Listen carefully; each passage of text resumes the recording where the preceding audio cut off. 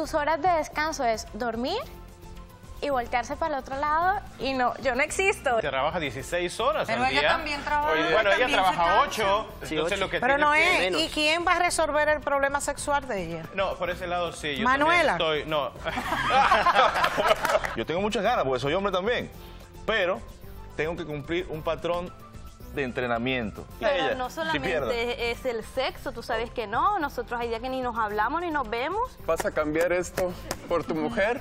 No, no, no. O sea, ni, ni Manuela te va a querer ver cuando con esto puesto. No son mis hijas, entonces ella le está mandando dinero a ella y yo no creo que eso es justo. Él cuando manda para Cuba, yo le ayudo. Es No es que eso, ella gana doctora. menos que yo y como gana menos que yo, yo... Es inferior a ti. Claro que sí. oh, qué bien.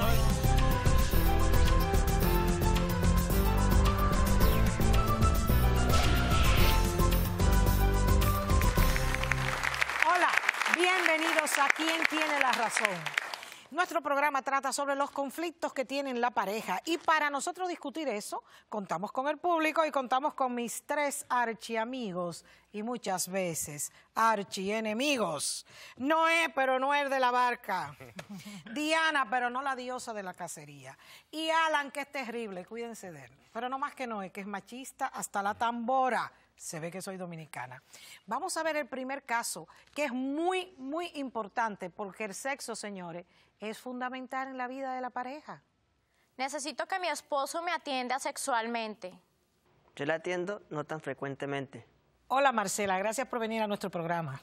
Cuéntame, ¿cómo es eso que te está pasando? ¿Que sientes que tu marido te trata como una hermanita? Eso es lo que está sucediendo, mire. Nosotros llevamos eh, ya dos años de casados, me parece que es muy poco tiempo eh, que nosotros llevamos y mi, mi esposo en este momento hace, lleva, llevamos como hace seis meses que ya no me atiende, eh, las relaciones sexuales son menos continuas. ¿Con qué Eh, frecuencia?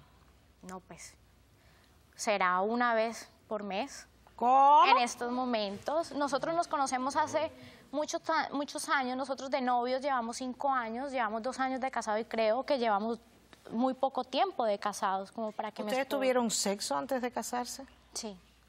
O sea que no son dos años, llevan más años teniendo No, relaciones. llevamos muchísimos años. de- es que es más, desde muy jóvenes nos conocemos él y yo. Sí, pero una vez al, al mes, eso está fatal. Yo estoy muy preocupada, yo no sé si, eh, no sé, él me dice que, que después de matrimonio se vuelve la monotonía, que yo ya soy como de la familia, porque ya, ya somos como hermanos, me dice.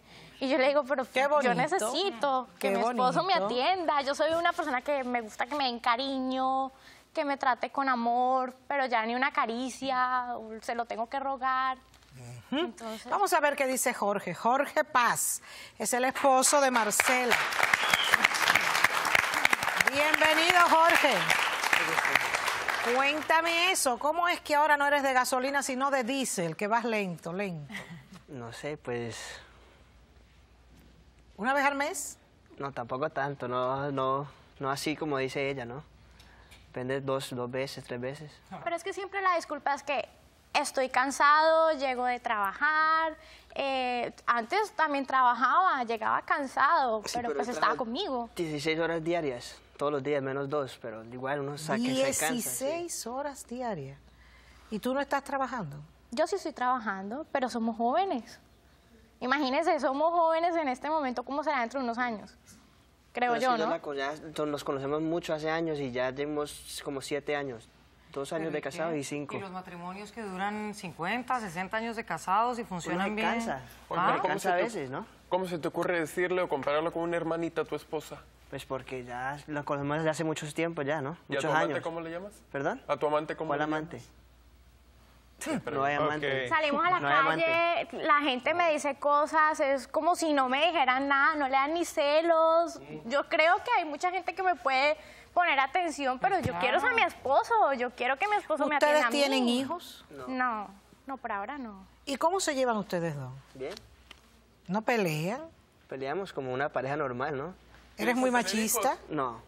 ¿Cómo? ¿Piensan tener hijos? Sí, pero más adelante. Pero, o sea, ¿Cuándo? Si ¿Cómo nunca... vas- cómo va si, a ser si si no, la, si no la tienes, Pues, ¿cómo? ahora no, yo ahorita estoy en mi carrera y quiero hacer, ¿no? Quiere, uno Pero- quiere sexy Pero para... parte de tu vida es tu matrimonio. Sí, pero Pero ven acá, el- ¿cómo que estás en tu carrera? ¿Trabajas 16 Sí. horas y además estudias? No, yo acabé, me acabé de graduar, Ajá.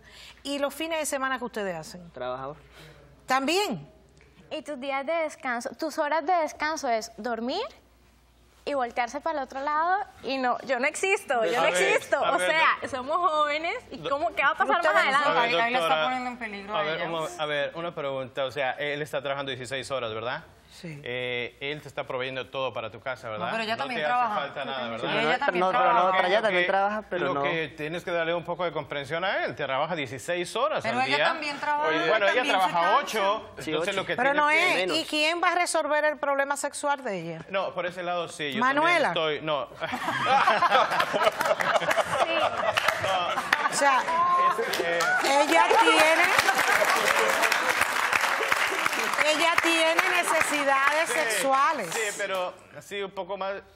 Sí, tienes razón. También tú tienes que ponerte más las pilas ahí también con eso, porque también hace, hace Porque falta. Tienes que ponerte las pilas. Mira, para hacer el amor hay que sacar un tiempo.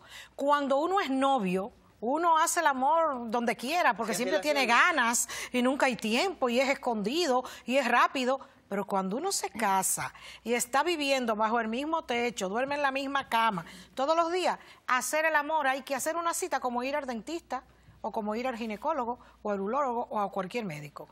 Ustedes dicen los sábados, aunque es una vez a la semana, es poco, pero si es un buen sexo, los sábados nosotros vamos a hacer el amor. Pero cuando es buen sexo, ya sabes que es buen sexo. Sí, pero, Pero una vez al mes, mi hijo. Pero no es una vez al Se le mes está olvidando porque eso tan poquito, ¿no? Eh, y ella y tú y tú también me imagino que buscarás algo en la casa que hacer para entretenerte, ¿no? Mientras Claro que él que- llega de trabajar, ¿no? Obviamente cuando él llega a trabajar yo, yo siempre me le tiro encima, estoy buscándolo porque yo soy una persona que también me gusta que me, que me den cariño, no simplemente acto sexual. Ajá, sí, claro. ¿Me entendés? Y también eso Un ha disminuido, ya no es cariñoso contigo. Yo lo cojo para que me dé un abrazo, se voltea, ¿me entiendes? Yo siento que debe haber, me dice que trabaja 16 horas, yo le creo, yo llevo muchos años en conocerlo a él, pero como de la noche a la mañana, seis meses atrás, ¿Y no, seis ¿no meses ¿Está sospechando algo aparte de que ya no le está No gustando no tanto puede- o no qué? puede coger sus no, besos. será- no sé. yo no me creo una persona o fea o desagradable. No, no O que si llevamos muchísimo tiempo que no le inspire nada, si llevamos muchísimo tiempo porque estamos juntos. ¿Tú le bailas? Estamos ¿Le juntos, bailas a de todo cuando- le hago, yo sí le digo de Ve, todo. sí le baila y Sí, todo. a mí sí, yo. Oye, hermano. Te estás me viendo encanta todo mal, mi ¿eh? esposo. Yo sí. creo que está haciendo todo el esfuerzo ella. Yo lo veo a él como muy... Y estoy muy enamorada, yo estoy muy enamorada y Yo quiero también estoy muy que, enamorado de ella. que nos propongamos en Pero- algo, no sé. Demuestras. Estás muy enamorado de ella, pero... Sí, pero todo es sexo. Sí, mi amor. pues sí, pero es que-. Oye.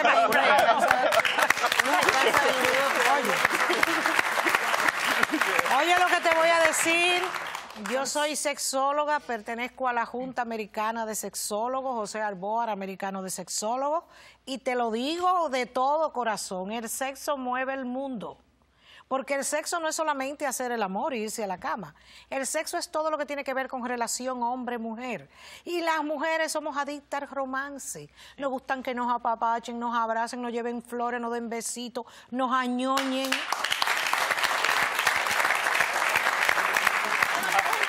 quiero, un te quiero una vez cada semana, por lo menos, o una cogida de mano, no sé. Póngale una cuota ahí, si no la y cumple, por ejemplo, lo castiga. Me dice, no, es que es- te veo como mi familia, como No, una hermana. Su esposa la veo como una hermana. Pues Bueno, Me pero duele, entonces mi mira. alma, me duele, me duele. muchos años ya. Mi Dígame. esposo. Sí. eh, bueno, mira, no, él sí se- te tienes que poner las pilas, pero también, doctora, yo, usted dice que una, una caricia y romanticismo despu- después de 16 horas al día de trabajo, doctora, también. Pues entonces bájele un poquito al trabajo pues y le diga un poquito, trabájele a ella que ella también necesita Hacer el horas de amor, mi hacer el amor carrera. relaja. Ok, Pero hay muchas pero- maneras de tener amantes. Puede ser ya cuando ya el trabajo se... Cuando se- ya que eso, el cuando trabajo ya- se, se cuando ya no se- le se- funcione no, traje, no trabaje tanto, Señores, este hombre tiene un amante. Sí. y Pero ¿quién perder. tiene la razón? Ese amante puede que no tenga falda y yo voy a explicar eso en unos momentos. ¿Quién tiene, no, y quizá ni pantalones, no sea mal pensado. ¿Quién tiene la razón en este caso? Es el público que lo va a decidir en unos momentos. Pero recuerden, esto tiene cocorica, esto está raro. Nos vemos. Siento que hay otra persona, porque de Hay la noche a la persona. mañana mi esposo no me va a dejar de Yo la- yo- tocar. Con 25 años, un poquito de deseo debe tener, aunque tenga una escoba, un palo de escoba al lado.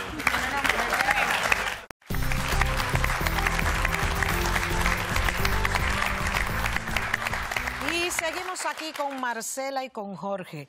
Y Noé quiere decir algo. Vamos a Sí, ver. Noé. doctora, ah, rápidamente.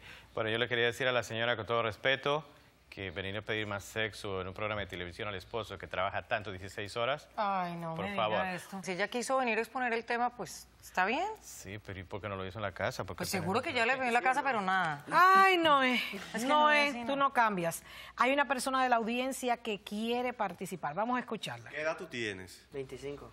Aunque trabaje 20 horas diarias con 25, con 25 años, un poquito de deseo debe tener, aunque tenga una escoba, un palo de escoba al lado. Lo que él tiene, que a lo mejor no, no, no está definido o está en el No, yo closet. sí soy, yo sí soy, yo sí soy definido, papá. ¿No te gustan los hombres? No me gustan hombres para nada. O sea, ¿te gustan las mujeres? Y me encantan las ¿Y mujeres. te gusta tu esposa? Y me encanta mi esposa Y también. entonces... Pues entonces, Yo soy una persona que tengo deseos, mi cuerpo necesita que me atiendan. Yo necesito también sexo, bebé, yo lo necesito. Sí, todos necesitamos sexo, pero no cuando tú quieras siempre. No, mi amor, es que es Sí. todo en el momento en que tú quieras, en el momento que tú desees No, y a la hora que es así sea. como lo quieres siempre, ¿no? Muy Así no va a bien, vamos a los resultados porque ya esto es más de lo mismo. Yo voy a explicarle a ustedes lo que yo pienso en unos momentos después que digamos quién tiene la razón.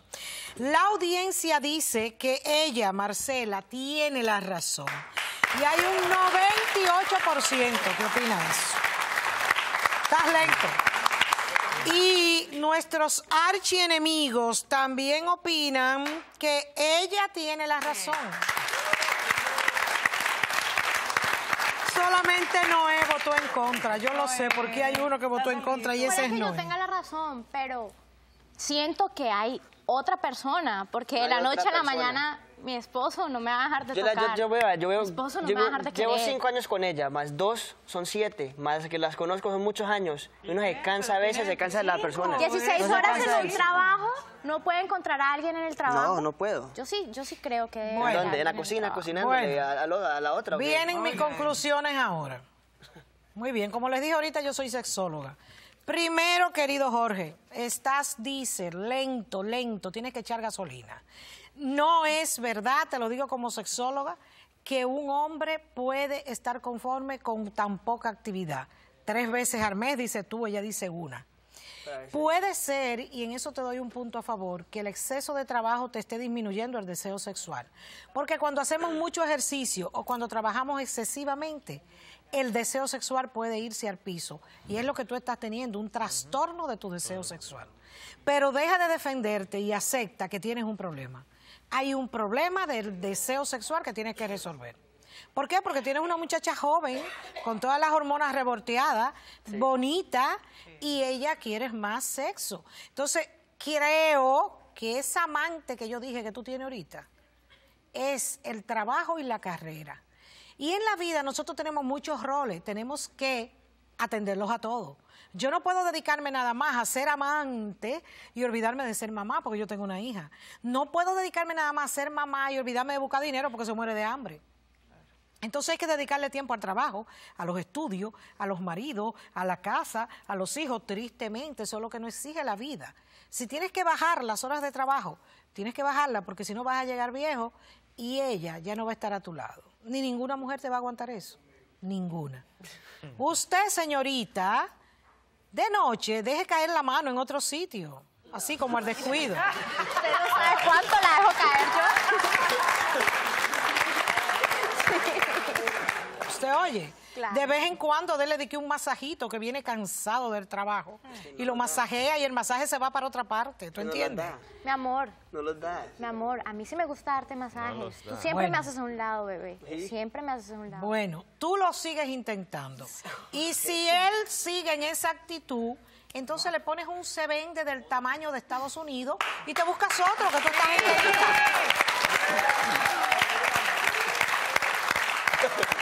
Cuando él vea, cuando él vea que tú no estás ya en eso y tú ni lo llamas, ni le pides, ni lo buscas, ni qué sé yo qué, y él llega y te encuentra, mira, estoy con mis amigas allí, entonces él se va a alborotar. Y si no se alborota, pues mira, quédense buenos amigos, pero usted busque quien les resuelva, porque hay que resolver. Muchísimas gracias.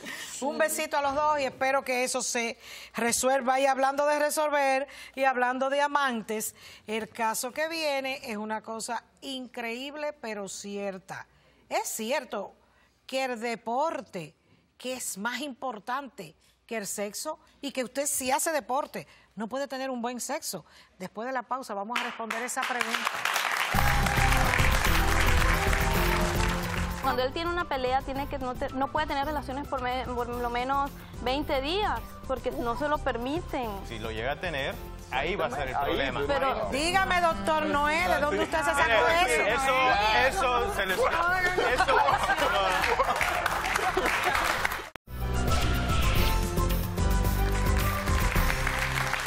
Casarse es mucho más que firmar un papel y ponerse un anillo. Veamos esto. No quiero un campeón, quiero un marido. No voy a dejar el boxeo por nada del mundo. Bienvenida, Mirdre. Muy Gracias por venir Gracias al a show. usted. Cuéntanos, Mirdre, esta es una situación bien, bien especial. ¿Tú te sientes desplazada totalmente, en tu relación de pareja por el boxeo? Totalmente. Yo tengo una relación hace siete meses con mi novio, con mi pareja. Tenemos, vivimos juntos. Al principio él era más amable, más atento conmigo, pero yo lo conocía él siendo boxeador, pero yo no sabía que él era una obsesión lo que él tenía con eso. Ahora nosotros vivimos, dormimos, pero es como si fuera una persona totalmente diferente, como si no fuera nada mío, como si no estuviera conmigo. Él trabaja todo el día, él, trabaja en construcción, él trabaja, va a boxear, va a entrenar, viene en la noche, viene bien cansado, se acuesta, a veces hasta duermo yo hasta en la sala, a veces, porque él nada más quiere... Este, se, se encierra en el cuarto, no ve ni televisión ni nada, o sea, estamos totalmente aislados Separados. separados totalmente. Yo no sé, y apenas tenemos siete meses de novios. ¿Qué tal si tenemos más tiempo? Vamos a ver qué dice Tomás. Tomás es el Rocky latino.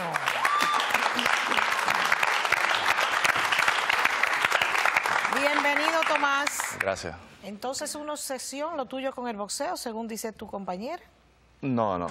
No es una excepción, es, es un sueño. Es una, me- es una meta. Y yo creo que ella está exagerando un poco porque ella me está poniendo como que yo no la complazco nunca. Y es totalmente mentira. Porque cada vez que voy a hacer campeonato o pelea, tengo que estar tres semanas entrenando fuerte, fuerte, muy fuerte. Aparte que trabajo en construcción, yo voy al gimnasio, llego cansado. Imagínese, ni Superman, ni Superman. Pero- y si pudiera, ok, yo también tengo muchas ganas. Siempre. Habla. Ok. Yo tengo muchas ganas porque soy hombre también. Pero tengo que cumplir un patrón de entrenamiento. Y si yo quiero ganar las peleas y, seguir, y, y llegar a un campeonato, tengo que concentrarme. Y si yo por ella pierdo mi carrera y después no soy nadie y ella me deja, me quedo sin nada, sin ella y sin nada. Entonces no, no me parece eso. Pero, Pero tú estás enfocando solamente en lo sexual. Ella dice que no solo en lo sexual, aunque ella sí lo menciona, sino que tú no le dedicas tiempo, No, ni no. afecto, ni hablas con ella. televisión como antes, cuando nos acostábamos, veíamos películas, ya nada, ya tú llegas a la noche, a las 11 de la noche, te acuestas. Y eso es todos los días, todos los días, hasta los fines de semana. Peor porque no trabaja el domingo, entonces se dedica todo el día al gimnasio. ¿Tienes Y otra entonces, ¿Cómo? ¿Tienes otra mujer? Pareciera, muchísimas tengo. No, pero no es así, no es así. No es así. No, yo, lo, yo lo que veo aquí, doctora, permiso, yo lo que veo aquí es que, bueno, a mí me gustaría que la, la persona que estuviera conmigo me apoyara en todas Claro. mis, mis, mis, mis metas. Y No, él, pero- lo que, él sabe muy bien lo que él quiere hacer y ella lo que está haciendo ahorita es que le está reprochando lo que el sueño de él. Ella, Él quiere, tiene- ella, ella quiere compartir también con él su carrera y sus Sí, pero es, aspiraciones. es lo sexual, es lo Pero sexual. no, Todo no tiene es que ver con lo sexual, Ella también quiere atención, ella quiere Pero sent- eh, fíjense. ver televisión una noche. Es sencillamente como- cuando él tiene una pelea, tiene que no, te- no puede tener relaciones por, me- por lo menos 20 días, porque no se lo permiten. ¿Y quién es ese que no te permite eso? Nadie, absolutamente nadie. Pero realmente, si tú estás enfocado en un deporte, tienes que concentrarte totalmente. Y ¿Pero de dónde sacaron eso?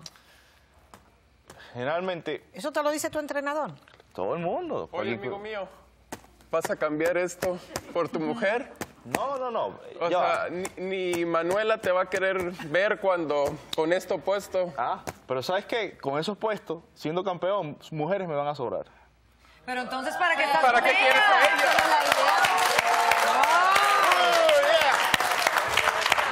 No, porque la idea es que no, yo te quiero muchísimo. No, pero si sabes que quieres, Yo nosotros... también la quiero mucho a ella, pero yo creo que el problema tiene que ver Es la idea, ¿no? con el sexo y porque ella piensa que yo tengo otras mujeres. Eso es todo. Pero acabas de decir que no lo quieres. No.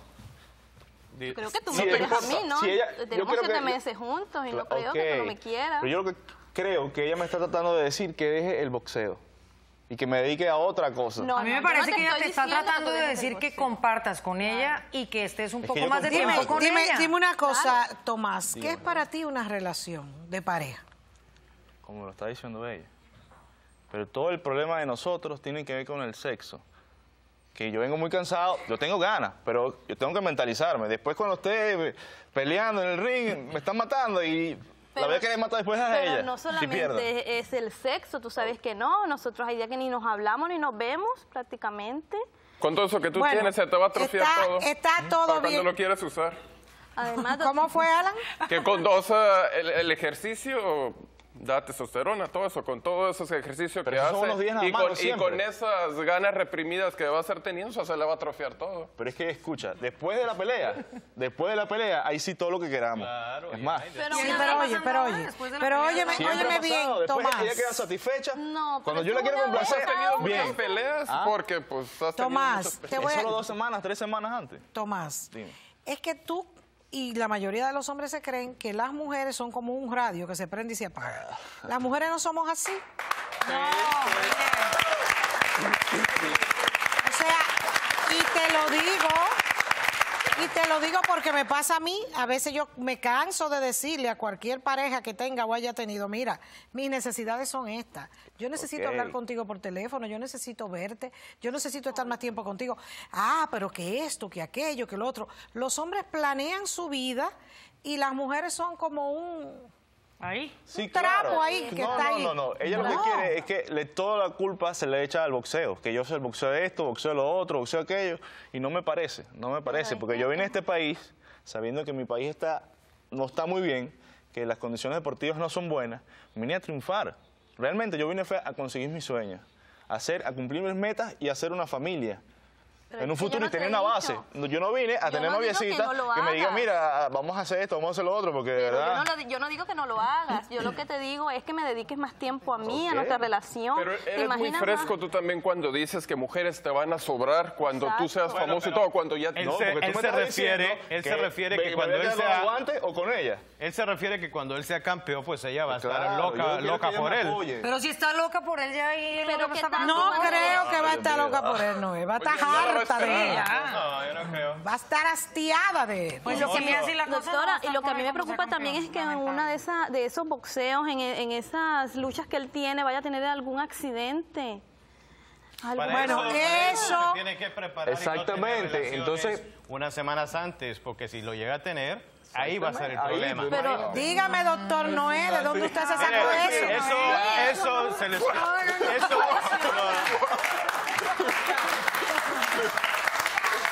No hay ningún estudio que sostenga eso que yo conozco. Doctora, discúlpeme, eso se lo escuché a Julio César Chávez. Sí, yo sé que lo Eso dice. se lo escuché a Julio César Lo Chávez. Te dice. no obstante, ok, se puede tener relaciones, pero no obstante es eso, que deje de trabajar por estar con ella, que deje de hacer muchas cosas para ir al gimnasio. Yo no estoy Eso. pidiendo que tú dejes de trabajar. tiempo no Incluso yo creo que nadie de los que está aquí eh, ha, ha oído Ok, eso. pero le cumpla, fíjate, fíjate. Tomás. Para todo en la vida se necesita tiempo. Y si uno no tiene tiempo para tener una relación, no la tiene. Es mejor. Pero tú tienes que repartirte y si no te puedes repartir, pues entonces tienes que decidir. Y tú también, porque tú también estás en una actitud muy pasiva, pidiéndole a él, pidiéndole a él, bueno, hijo, o tú me das lo que yo quiero, o vamos a hablar claro, ¿verdad? Sí, pero si Vamos a una pausa y, en- y- y después vamos a discutir eso que esbozó Noé y que yo le dije que, que, que quién se lo había dicho, pero que está muy sonando por ahí. A ver si es verdad que cuando usted va a tener una pelea, usted va a jugar tenis o algo, un campeonato, no puede tener sexo. Di que porque el sexo debilita. ¿Pero de dónde se han sacado ese disparate? Volvemos en breve a hablar sobre eso. Tomás, recuerde que órgano y músculo que no se pone a trabajar se atrofia. Y si ella se queda con lo de ella, la plata que ella se gana, usted se queda con la plata que No, usted porque se ella gana. también tiene que darme también.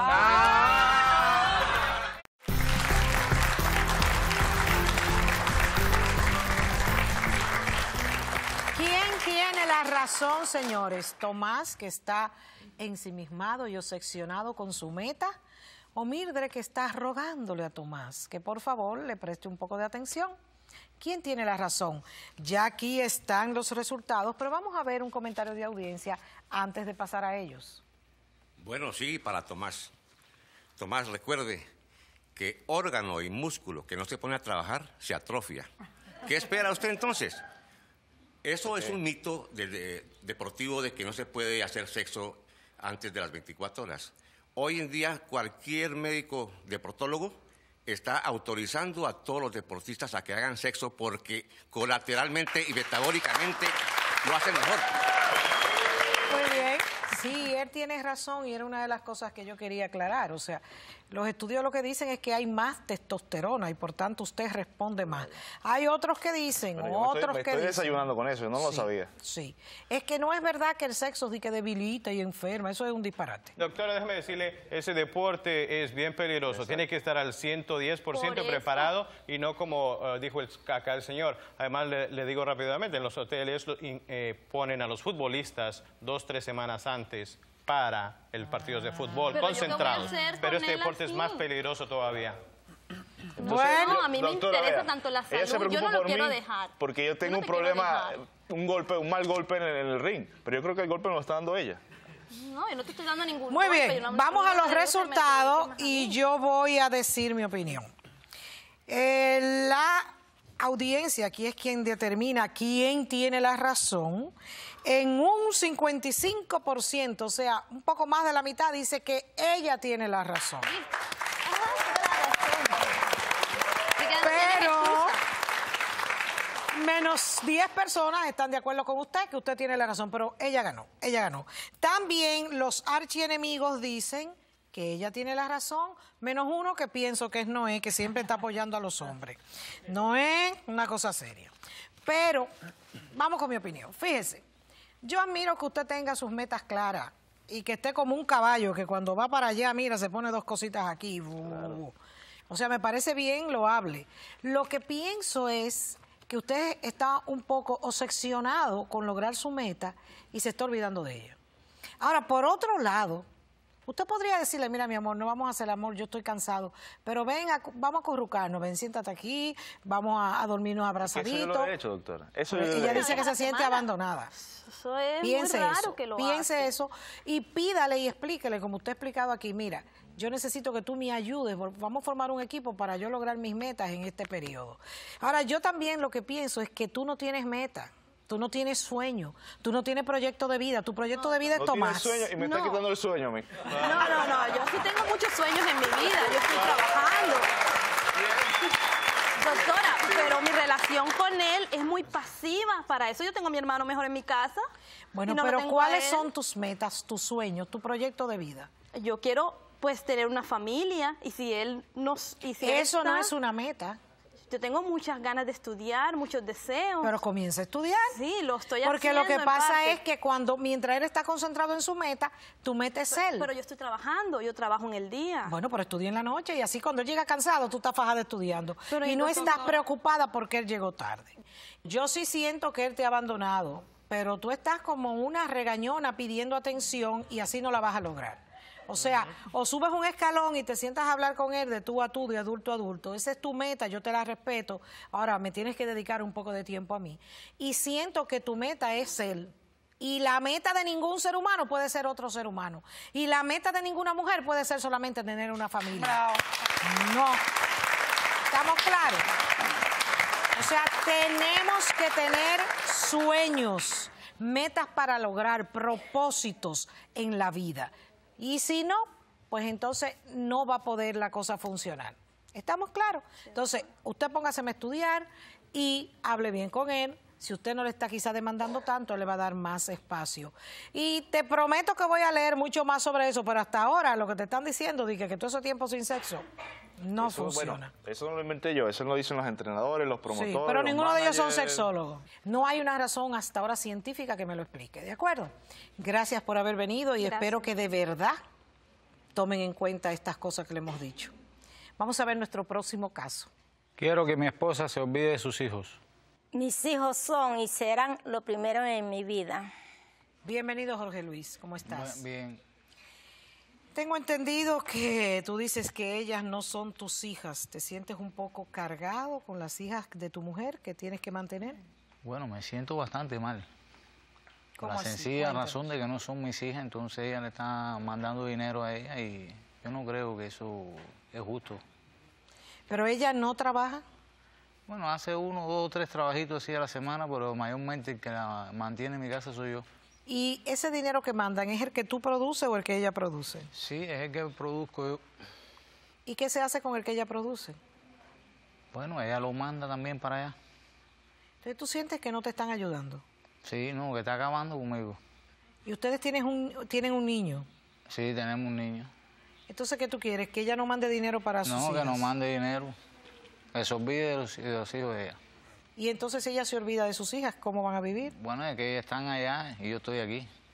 Sí, pero allá se come también y aquí también, ¿verdad? Sí, pero aquí se paga más que allá en el país de ella. ¿Tú estás seguro? Sí. Mm. Vamos a oír a Georgina.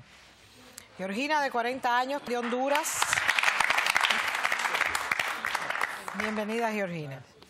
Entonces está bien claro. Él dice que usted no debe mandarle dinero a sus hijas. ¿Qué edad tienen sus hijas? No, mis hijas tienen 18 y 20. ¿Y no trabajan? No, yo trabajo. Yo trabajo para mantener a mis hijas en Honduras. Pero él dice que no, No, que es el dinero él de él. trabaja también. Pero yo trabajo y de lo mío es que yo mando para Honduras, no lo de él. Él dice que es de No, de lo él. de él no. Lo de él dice que es para la crianza de nuestro hijo que tenemos aquí. Sí, pero, Pero lo mío es lo mío. pero coge lo mío también. No, llevamos ya sobre 15 años de casados. Estoy tratando de de traer a mis hijas, pero él no quiere. Entonces Honduras está miserablemente pobre. Son ¿Y por qué hijas. usted no quiere que ella traiga a sus hijas? Bueno, por la sencilla razón que vamos a hacer más, entonces voy a tener que poner más dinero yo. Y cuando usted se casó con ella, ¿usted sabía que ella tenía hijas? Sí, Hace 11 años. sí. Mm, no, 14 años. Hacen 14 años. Que están casados. Sí. O sea que las niñas estaban pequeñas. Estaban pequeñitas. Sí. ¿Y en qué trabaja usted, señora? Yo limpio casas. Y todo ese dinero se lo manda a ellas. No, no, no todo, porque no todos los meses les mando. No, Sí, porque siempre todo. dejo para la casa, porque tenemos un niño de 12 años.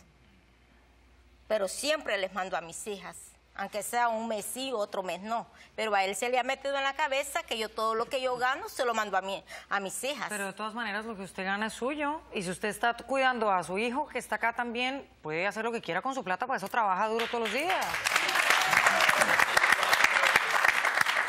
Sí, pero no estoy de acuerdo contigo, Diana, porque lo que ella Es de los trabaja dos, es de, los dos.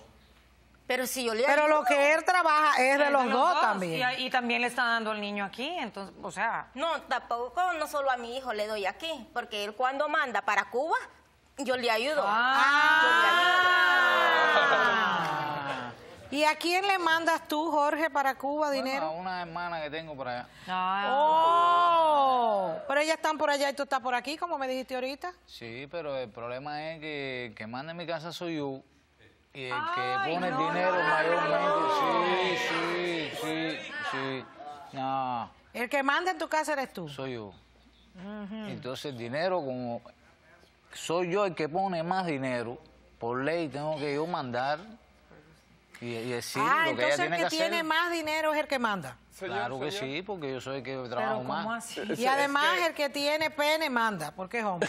No, porque, no, es no es que ella gana doctora. menos que yo. Y como gana menos que yo, yo Es yo- inferior a ti. Claro que sí. oh, qué bien. No, es- no, no.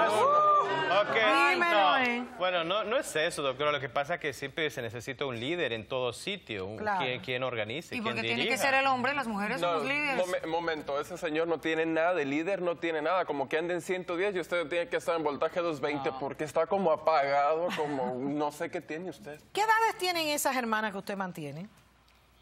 Bueno, ella es mayor de edad ya. Ya ella tiene como 38 años, algo por ahí. La que debía estar brava era ella de andarle mandando la plata de él a una hermana de 38 años que ya, Sí, que ya pero puede yo trabajar. le y ayudo porque yo también sé que Cuba está bastante malo, como mi país, ¿verdad? Claro. Pero hay que ponerse de acuerdo. Sí, pero, pero, pero están, tienen los dos entonces que ayudarle a la gente que lo necesita, pero póngase por- de acuerdo con ella Por porque es que ella también... Yo le digo a él que me ayude en traer a, a mis dos hijas. Bueno, es Que que... no, así no, mis no. hijas estudian por la noche y trabajan en el día. Un pueden ayudar también, que ellas a también pueden casa. ayudar a traer dinero a Señora, la con, casa. con- con ese señor No, tan lento, la- es más fácil que se busque es otro que, se las traiga más rápido. No son mías. Y la- el que Pero está son aquí de sí es mío. esposa, de la Sí, mamá bueno, de su hijo. Bueno, pero era de otro padre. Le voy Pero a hacer no una pregunta, Papá. le voy a hacer una pregunta. ¿Esas muchachas son hermanas de su hijo? Son hermanas, Ajá, ok. pero Señores, no es el ¿qui- mismo papá. Ok, pero son hermanas. son de la misma mamá. ¿Quién tiene la razón? Este hombre que dice que él tiene derecho a mandarle dinero a una hermana Cuba de 38 años, pero que su esposa no tiene derecho a mandarle dinero a las hermanas de su hijo, porque esos hijos no son de él. El público nos va a ayudar a entender esto. Volvemos en breve, no se muevan. Parece mentira que sea cubano y sea tan tagaño. Que una gente te ame con dinero, tú lo puedes Sí, comprar. hay muchas mujeres. Ah, que, te, que se acuesten contigo, pero no que te amen. Sí, porque lo que vale es el dólar. Ah.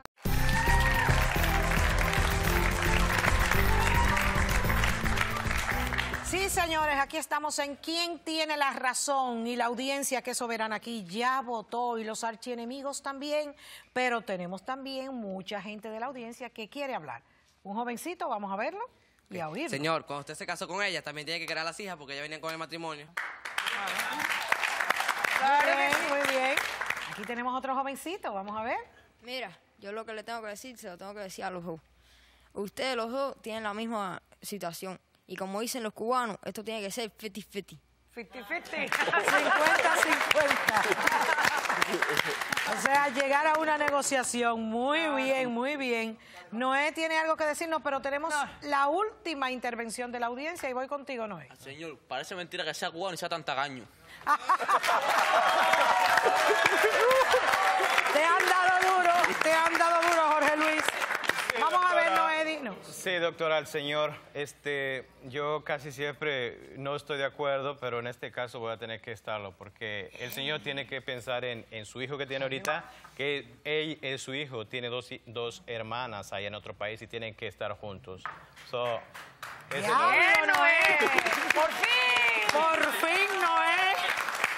Caramba, lo estamos educando aquí en quien Él tiene tiene la su razón. corazoncito también. Por esta vez está bien. Por esta vez, sí. Por esta vez va a dejar el machismo a un lado. Me parece muy, Muy bien. bien. ¿Qué opina de todo esto? Que el señor tiene razón. Tienes razón. Sí. Qué bien, está empezando usted a cambiar. Vamos a ver los resultados. La audiencia dice que Georgina tiene la razón. Ella tiene la razón.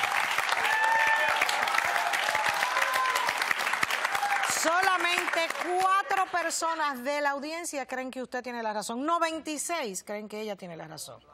Y nuestros archienemigos alguna vez están todos de acuerdo. Y los tres piensan que Georgina tiene la razón.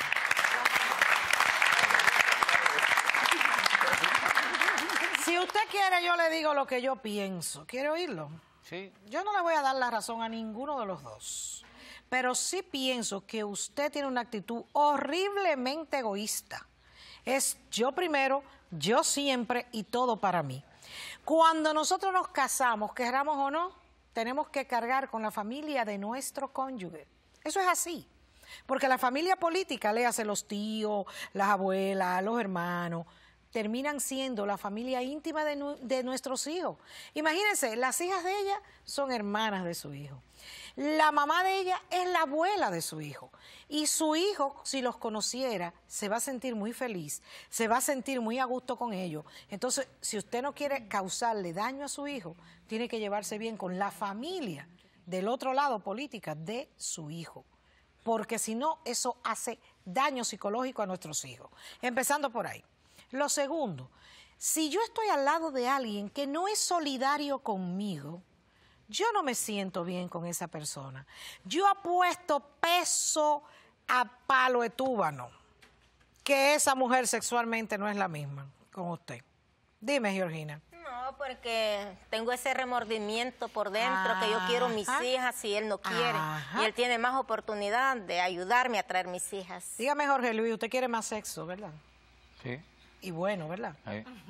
Por Entonces- eso está pagado, doctora. Por eso está pagado. Usted sabe, Jorge Luis, cuál es el único precio que tiene que pagar un hombre para tener buen sexo. ¿Mm? ¿Usted sabe? Apoyo emocional, Jorge Luis. Cuando una mujer se siente apoyada con una persona solidaria que la toma en consideración, que trata de complacerla, que escucha su dolor, que está ahí cuando esa persona la necesita. Esa mujer abre las piernitas muy fácilmente.